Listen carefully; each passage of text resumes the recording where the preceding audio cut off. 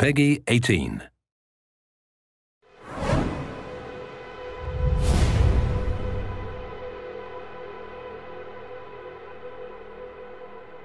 Hey everyone, uh, my name is James. I'm a producer with Gearbox Software. Uh, hey, my name's Joel. I'm from 2K Australia. Um, in case people haven't seen the news lately, uh, 2K Australia and Gearbox Software are collaborating on an all-new Borderlands title called Borderlands the Pre-Sequel. Now this is a full new standalone Borderlands title which is coming to Xbox 360, PlayStation 3 and Windows PC in the fall of this year. And uh, we're here to give a run through of the demo that we prepared for PAX East earlier this year. Um, so why don't we get stuck into it? Yeah, all right, so right now we're looking at Athena, uh, who is one of the new playable characters. She's uh, a sort of a famous NPC from Borderlands 1 DLC, uh, the General Knox DLC. Uh, right now we're putting uh, our skill points into the Phalanx tree, which enhances her kinetic Aspis, which is this energy shield that Athena has that allows her to absorb uh, attacks from, from enemies and throw it back at them. Uh, all right, let's go ahead and get looting. Over here we have uh, one of our new loot chests. We're going to go and open up and we're going to see what we've got inside. All right, looks like we have uh, one of our new cryo guns. Uh, cryo is a new ice elemental uh, that we've introduced in the pre-sequel. Uh, fires ice bullets that allow you to freeze enemies and shatter them. Uh, we also have uh, the laser gun, which is a new gun type. So it has different kind of laser attacks. Each manufacturer has their own kind. Right now we're looking at the Maliwan laser gun, and we might run into a couple of different types later on that we can show off. Uh, this is the Oz kit. This is an O2 kit. Uh, you need O2 because you're on the moon surface of uh, Pan Pandora's moon surface, which is Elpis. And Elpis is just like uh, Earth's moon in the sense that there's a very thin atmosphere, very low gravity, so you need oxygen, uh, but there's not really much on the surface. Um, looking at our uh, other playable character, Wilhelm, you might have seen that there's a sort of a shimmering bubble over his head. That's his oxygen bubble. That allows him to breathe on the surface. Um, the entire time that you're out there, you're losing oxygen, but don't worry. We've got plenty of stuff in place to make sure that you uh, that you always have opportunities to get more O2. Uh, case in point, we've just found one of the air geysers. You run on top of one of these things and it's going to fill up your oxygen. This is really important, not just because you need oxygen to breathe and live, but because we have some new features that we've added uh, that use oxygen. Uh, Joel, why don't you tell us some about that? Yeah, so when we were bringing in this oxygen system, we didn't want to bring in something that was annoying to players and a resource to manage. We wanted to bring in something that could give them cool new abilities. So you can see we're on the moon, you can already do low gravity jumps, but if we jump and then press jump again, um, you'll actually vent some oxygen and you'll do a boost. It'll allow you to go a little bit higher. You can also kind of push yourself forward. So why don't we uh, do a jump and then boost forward? Uh, and one of the other cool things you can do, it's it's kind of my favorite thing to do in the game at the moment. It's it's it's technically it's called a slam, but I like to call it a butt stomp. If you jump up in the air, press jump again to boost, and then press crouch, you actually slam down to the ground and do an area of effect attack. It's a great way to manage crowds to, to shove them back because if you're in a low gravity area, you can push them back pretty far, which might be the edge that you need to either like run away or focus on one guy before you deal with the rest of the crowd. All right, now we're going to go ahead and move into the next area. Uh, this is the com facility. Um, there's a signal that's being jammed that you need to take care of so that you can get back up to Helios, which is the moonshot facility. Um, in the pre-sequel, uh, Jack is uh, is in charge of the of Helios. He's not the Hyperion CEO yet that you know from Borderlands 2. Uh, right now he's just managing the station, and you've been kicked off it, and you got to get back. Coming from that comms facility. Get in there, switch it off, because things are getting really interesting up here, kiddo, in a not fun kind of way. What's your bum in there? Redbelly owns that place now, and I've heard he's a right nut job. Uh, you probably would have heard a bit of an Australian accent there. Uh, during the development of the game, it just so happened that uh, the moon kind of turned into Australia. All right, now where we are right now, there's this big gap.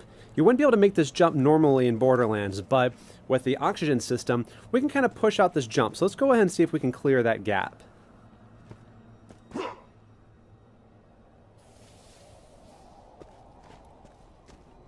All right, Athena, you're up. Get plenty of O2 so you can make this jump. Uh, this is my favorite part of the demo because I like to push our demo drivers to boost as late as possible. Whoa. Just like that. I like to see them sweat. So why don't we keep moving? You'll notice when we boost that oxygen meter is draining. Uh, and you can see in the horizon there, there's actually a beam shooting up to the sky and a HUD marker, and that's an oxygen generator. We can activate that in a sec, but this is Borderlands, so, you know, you always loot. And yeah, low gravity, no atmosphere. But when you actually activate the oxygen generator, now there is atmosphere. So when we open up this other lootable, you'll see that it behaves differently. We want to make sure that the um, that this whole system felt organic, that it felt real, that it didn't just feel like it was tacked on. Um, this comes in really uh, important because with things like incendiary, uh, if you set someone on fire instead of a building with atmosphere, uh, they'll burn. But if you set them on fire in an area with no atmosphere, they won't. So you kind of have to make some. Uh, you have some interesting opportunities. But these guys up here, I'm sure they're up to no good. So let's throw some grenades at them.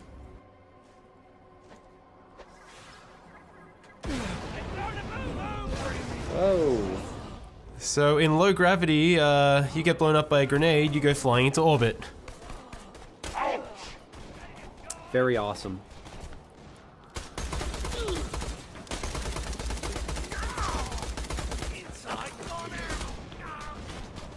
Now, you'll see these guys who are outside of the oxygen dome, uh, they're wearing the same bubble that you are, and if you manage to get a headshot like that, they'll actually start venting oxygen and become vulnerable. And uh, this really brings tactics into play for the player. So you, you, can come into a space, and if you have a really kick-ass uh, incendiary weapon, you can choose to turn on the oxygen, or you can try and uh, take out their bubbles that way. But why don't we take a take a chance to have a look at our uh, our co-op buddy Wilhelm? So people probably remember Wilhelm from Borderlands 2 was the big robot that you fought right at the beginning, the first big boss. In this game, he starts out just as a man because this is his origin story as well as many other characters. And the really cool thing is, as you're building out his skill tree, not only do you gain new abilities, but you actually visually change him as well. You get robotic arms, robotic legs, shoulder-mounted rocket turrets. You're essentially building out his skill tree to tell the story of how he became the boss you fought in Borderlands 2, which we've had a lot of fun making. But I think uh, it's probably time to show off our first new action skill for Borderlands the Pre-Sequel. What do you think, James? Yeah, it sounds like a good idea. We're coming up on the barrier here for the uh, for the comms facility. This is being run by the Scavs, which are the scavengers. They're essentially moon bandits. They're not going to let us in without a fight. Uh, they're even bringing out some heavy hitters, some turrets, but luckily we've got our our Aspis to uh, help us with that. Let's try to absorb as much damage as we can and throw it back at them.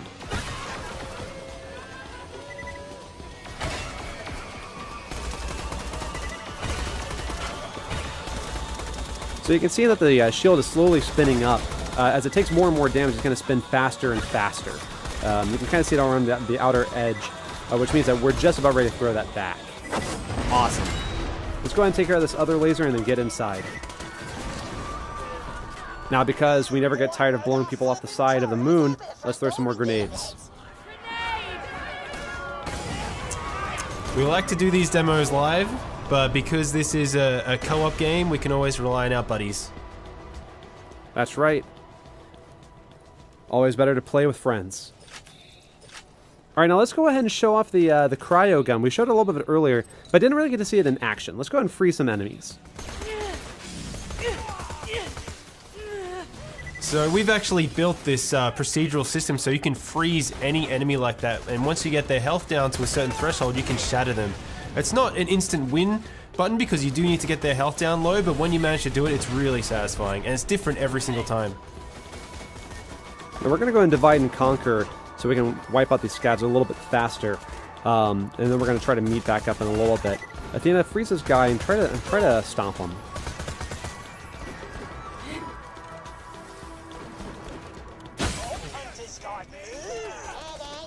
Athena had a good tactic there. If you manage to get really high, your butt stomp will actually do more damage. So if you free someone, you can butt stomp down and, and shatter them from above. Now, you can, you can do more than just freezing them uh, while they're on the ground. We've got some jet fighter, uh, some sort of jetpack enemies. Let's try to freeze them while they're in the air.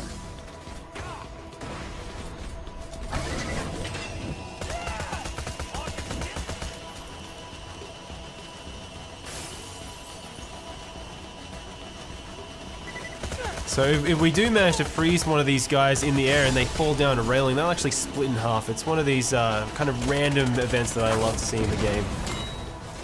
But we, this is also a new enemy, uh, the Badass Outlaw. Now, this guy is pretty big, and because of the low gravity, if he charges into you, he can actually knock you pretty far. But when you shatter him into a million pieces, that doesn't really matter too much. It's very satisfying.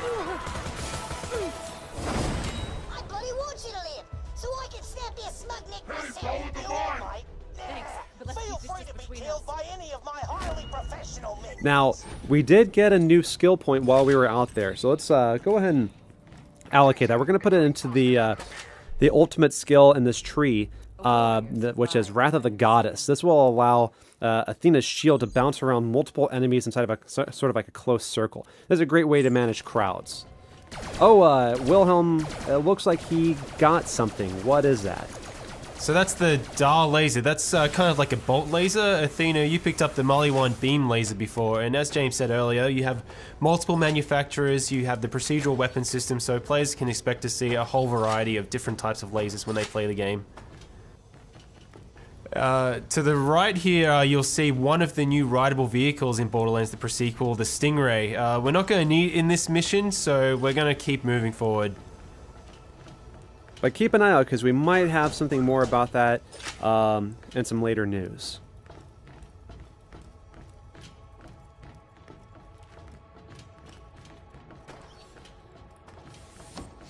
Alright, looks like we found another loot chest. Let's pop this open and see what we have. Let's see if we have a, a new Oz kit over to the right here. So what does this Oz kit do? Let's see. So it looks like it uh, increases your oxygen meter. Um, it allows you to create an oxygen bubble, which comes in really handy when doing a slam. Uh, so let's go ahead and give that to Wilhelm and uh, see if we can if we can do some damage with it.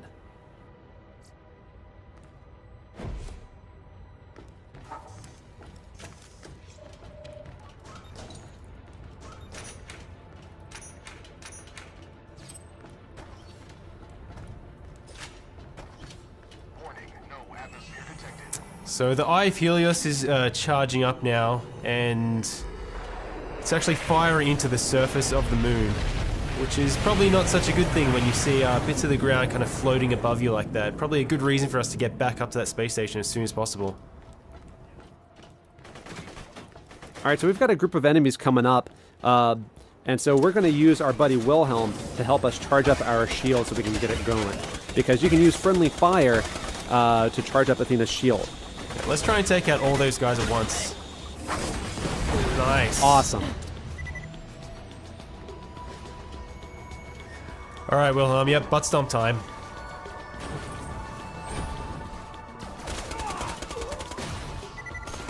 And you see that bubble, uh, you can run inside that to, to recharge your oxygen. Um, as we mentioned earlier, you can also use the oxygen to set enemies on fire when you're out in this sort of area. Uh, so maybe we get a chance to use that, maybe we don't. Yeah, it is, it is a really good combo if you get that oxygen bubble with the fire to burn enemies, but I really love getting the cryo one as well, so if you jump down from high enough, butt stomp and shatter and freeze a guy all in one go.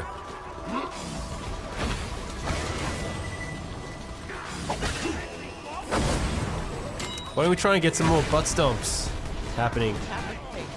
I never get tired of it.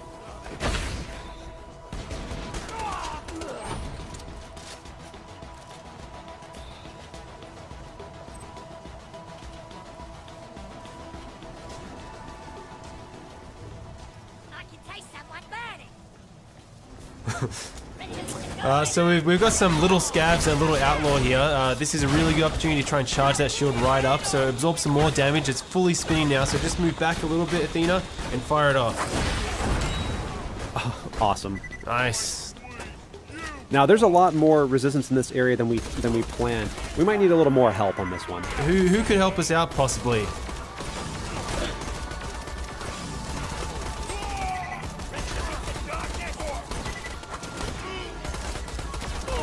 Uh oh. All right, we really need some help down. We need some help.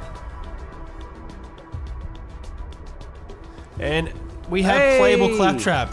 For the first time ever in a Borderlands game, you get to play as Claptrap. And he's going to help us out a little bit in this fight. Thanks, buddy. All right, let's wipe these guys out. And the other playable character in Borderlands the sequel is Nisha the Lawbringer, who fans of the franchise will also remember. We'll be talking about her at a later date. Beautiful frozen badass outlaw.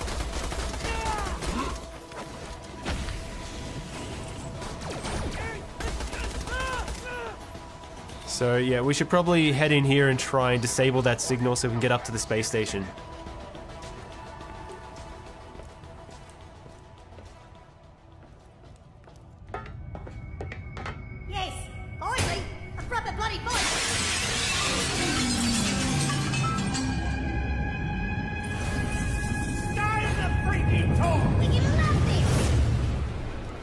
All right, you better get him, Athena.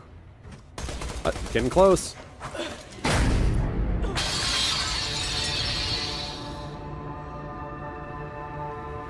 Uh, did we mention low gravity already? Awesome. Well, hey, thanks everyone for staying tuned uh, for Borderlands the pre-sequel, uh, coming to you this fall.